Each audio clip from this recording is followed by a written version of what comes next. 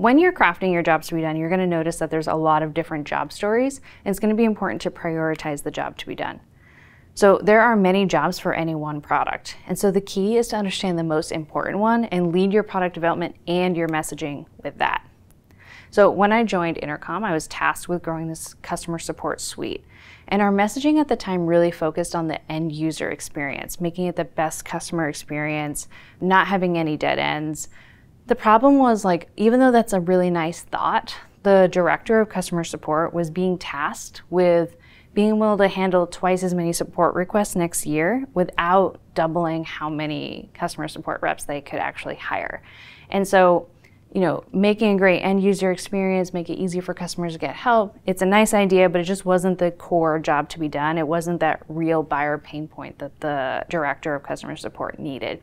So, gradually over time, we needed to shift our product functionality to be able to scale and slowly change our message as well. So, how to do this. In addition to identifying the jobs to be done, you need to understand their order of importance. How is your target persona measured at work? What is their bigger goal? And you need to think bigger than just your features or your platform. You really need to understand ultimately what they are trying to accomplish at work.